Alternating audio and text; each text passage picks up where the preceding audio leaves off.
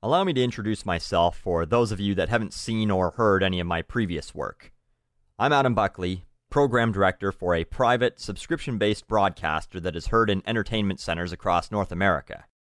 Previously, I've done videos about how not to get a job in radio based on the Talent for Hire section of Milkman Unlimited, Canada's premier website for radio industry professionals to find employment and check out the latest industry news while managers can post jobs and find talent. I thought I'd do things a little differently this time around since a few months back I posted a job.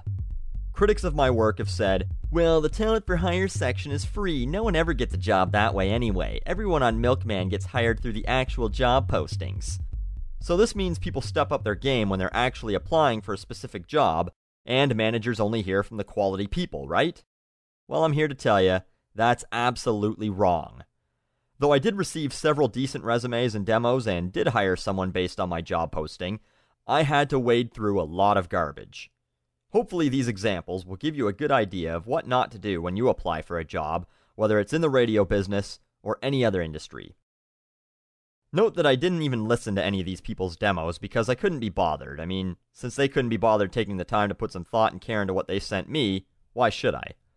I'm not alone in this. Most managers won't listen to your demo if their first impression of you is awful.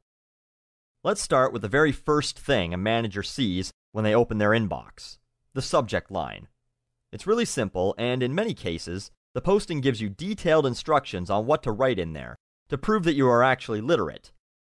Here's some I got Hey, Mr. Buckley, on air personality application. Hey, we're pals. Don't say hey to me. This may sound snobby, especially for radio, but we're not buds, certainly not yet. The Mr. Buckley part is formal, but then there's no punctuation. Is he saying hey to Mr. Buckley on air personality application? Didn't even bother reading on. As you may have guessed, I'm a prick when it comes to spelling, so when I get a subject line like on air serenality, I tend to just ignore whatever else is attached. And then there was this email MP3. There's literally no contact info, no resume, no cover letter, this person just sent me a demo. This person's probably sitting around saying, Man, I've sent my demo to everyone and no one's hiring me. This economy sucks. No, you suck. I guess it was better than this person, though, who sent me nothing. Attention, Adam Buckley. Extreme ambition inside. I'm so ambitious to send you something that I didn't even bother sending it. No attachments, none. This person claims their cover letter, resume, and demo is right here, and it's not, so they're a liar. I don't hire liars, I don't care how ambitious they are. Back to spelling. Your cover letter or introduction email should actually be in English when you're applying for an English job, especially when applying for a job where you're going to be communicating with people and representing the station. People say, well, whatever, no one writes perfectly anymore, it's the internet.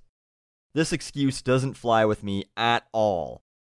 Does this go on in other languages, I wonder? I mean, do Japanese people just leave characters out because they can't be bothered? Are the French just leaving accents off words because they figure other French people will get it? Or are English speakers just incredibly lazy? I honestly wonder about things like that. This is now more important than ever with Twitter and Facebook because you're probably going to be representing the station online. And when you spell like a fourth grader, people are going to say, wow, how'd that person get the job? I could do their job. And once the jig is up and people realize that really anyone could probably do this job, we're all screwed. So stop fucking it up for the rest of us. Here's a guy who's sending something to my attention. He'd like to apple pie for a job. Worse, this person is already employed by a CHUM radio station, so good hire, guys. You should be proud of that one. Some excellent language skills on display with our next candidate. I just graduated College of Broadcasting and I'm in search of a full time position. Looks like the search continues. Now, let's say your spelling and grammar is actually pretty decent. The subject line didn't make me just hit delete right away, and you've got me to actually click on something you've sent me, assuming you actually did send me something. Perhaps you should make sure the things you're addressing are actually addressed to the right person. I'll see that Robin gets this one. What this also tells me, as if I wasn't going to figure it out anyway, is that this person is just sending form letters and changing the name on top. The resume can be the same, and even the demo to a point, because quite frankly, no one knows what the hell any managers want when it comes to the demo. Some want a custom one for the station, while others think that's patronizing. Some want a minute and a half of highlights, some want a couple full bits, and then eventually they just hire the person with the coolest voice anyway. But with the cover letter, it should actually be specific to the job posting, mentioning things within the posting. It proves that you read it and that you actually want that job, not just a job. I get it that you'd like to feed yourself and your family, maybe, but as a manager, I want you to want my job and to tell me why you'd be a good fit for it. Which brings me to cliches. First off, the profile or summary at the start of resumes. I don't know about other managers, but I hate it. It's useless. Just tell me what abilities you have, how they've helped other places you worked, and in the cover letter, explain how those skills will help my company. Garbage like, I'm an independent self motivator with a fresh style, with the ability to think quickly under pressure. It doesn't tell me anything. Also, being an independent self motivator is redundant. You're either independent or you're a self motivator. They mean the same thing. And another one that kills me. Oh, wait, first off, check out this thing. Whatever professor told this girl that a jazzy resume like this would be a good idea should be banished from teaching forever. Look at this.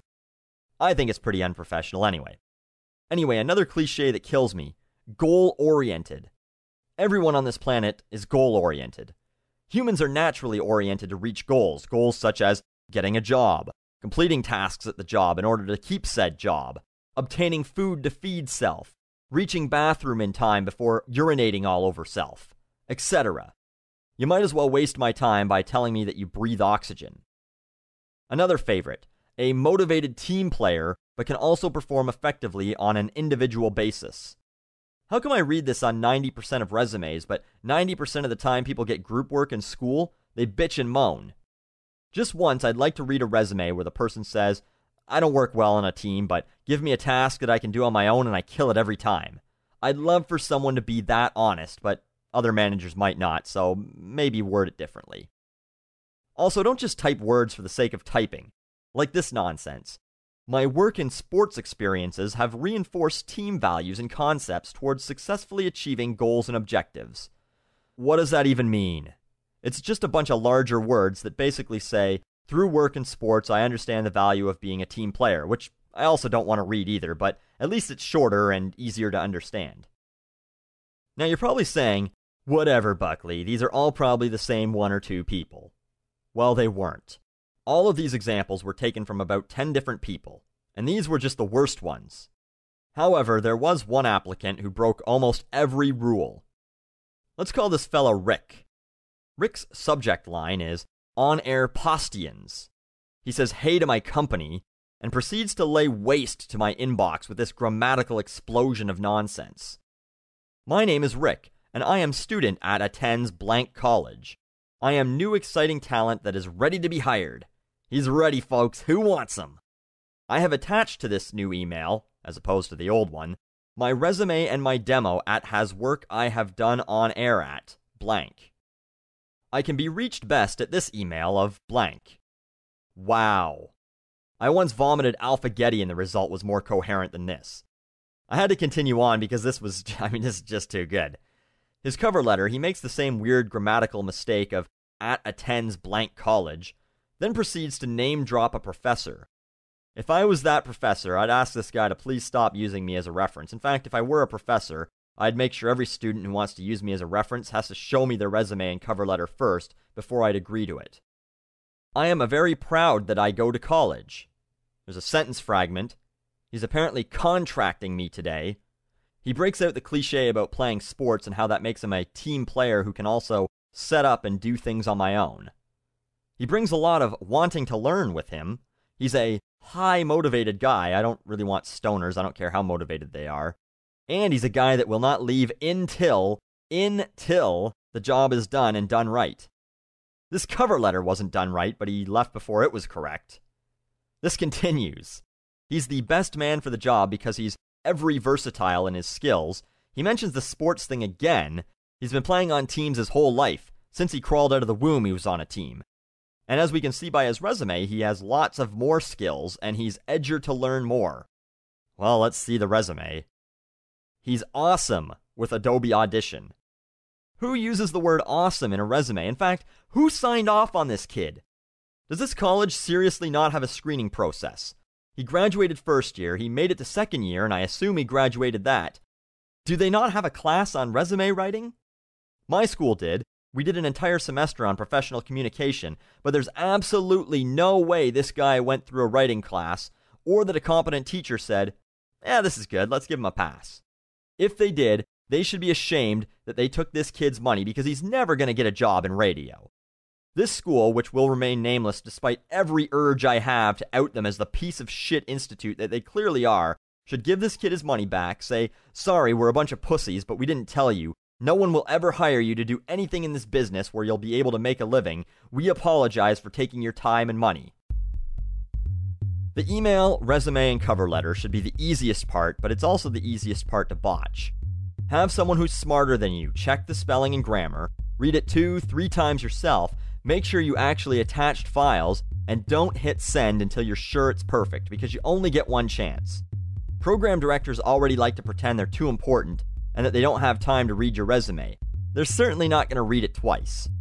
If you're wondering why your phone's not ringing off the hook and why your inbox isn't full, why you're not hearing back from the dozens of jobs you've applied to, go through your sent mail folder. I mean, really give it a good scan.